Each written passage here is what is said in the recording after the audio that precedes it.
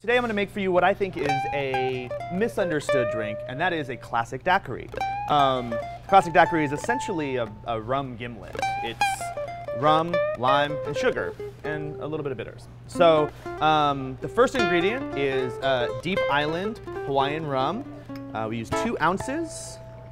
Uh, this is what you would call an agricole rum. It's made from fresh pressed cane juice, um, whereas most rum is made from uh, molasses, which is a byproduct of sugarcane production. The next ingredient is uh, one ounce of fresh pressed lime juice and three quarters of an ounce of um, simple syrup, which is made from local cane sugar.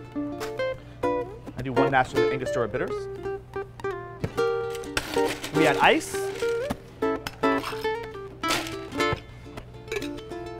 gonna give it a good shake. This one we're gonna serve up. You could also do this on the rocks or on crushed ice or blended, but I don't advise it. Blending makes you think.